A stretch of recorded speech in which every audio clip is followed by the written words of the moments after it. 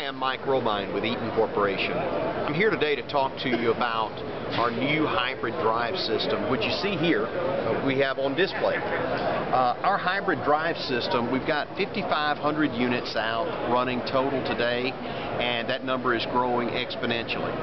We've also accumulated over 200 million miles with these systems. And I wanted to talk with you today just a little bit to give you a basic understanding of how this system works. And we're going to start and go from the front to the back. And the first thing that you need to know is it has an electronic actuated clutch, which you see here, and then the actuator is actually mounted down here.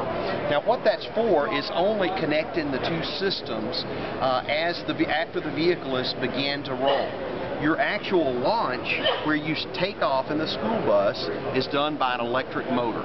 So you have no wear on the clutch from takeoff and then your electric motor is doing all the work.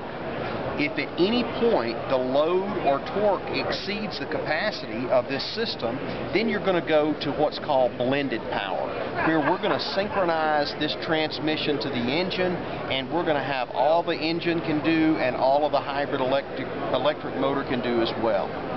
So then we move back to the most efficient transmission system that's on the market, and that would be our electronic automated transmission, which is in essence, and it's a manual transmission that's electronically shifted. So you, you don't lose the inefficiencies of a torque converter because there's not a torque converter.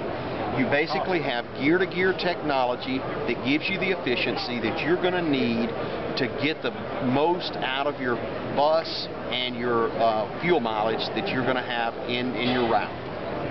The key things that are going to benefit or decide whether this works on a system are one of the things that, that, I also like to talk about is called route analysis. Uh, we have to make sure that the hybrid system that you have, that you're buying, and where you want to place this system is is in the right spot. In other words, we want to look at average road speeds and we want to look at how many starts and stops per mile that you do. Now, we want to keep uh, the routes that are in a high start-stop density okay. and a lower average speed. That's going to maximize the fuel economy and the opportunity that you have to realize uh, in excess of 30 to 35 percent increase in fuel economy.